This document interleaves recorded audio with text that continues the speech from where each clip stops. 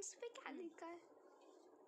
O I love her expressions there is expression पर इतने expression बनेंगे लोगों के मुँह में कि एक्सप्रेशन बोलने के एक्सप्रेशन वर्ड इन्हें बचेगा इस दुनिया में। अब मैं क्या एक्सप्रेशन दूँ?